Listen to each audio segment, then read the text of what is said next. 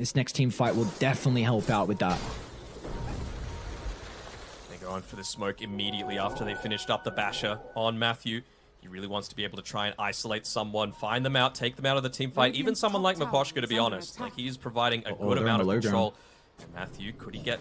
Do, again, the four-man stun. We saw it last game.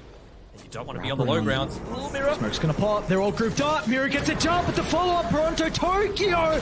He's in, crashing them left, right, and center. But Yatoro, he's hesitant to be able to fall up as well. They've got control with the Ravage coming out, clipping onto three, but collapse in with the black hole. What an ultimate as they don't have response. The damage is racking up too fast. It's Thunder, some buybacks coming out for them, but can they be able to revive the team fight?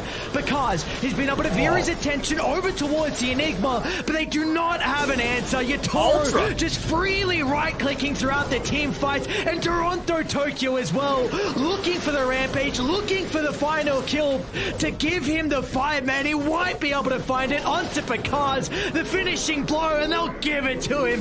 Rampage for the Pangolier, and now they can go for Sacred as well. That Hide Hunter just brought back prior, and he'll be sent the to the root. grave for another time. Nothing will stop them. No tier 3 Double. tower will hold them back as TORONTOTOKYO gets a double rampage. Oh,